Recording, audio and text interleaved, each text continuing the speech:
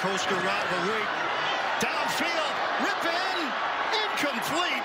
There was not a Bronco anywhere near that area. Jordan Whitehead being a Bronco and where that ball ended up.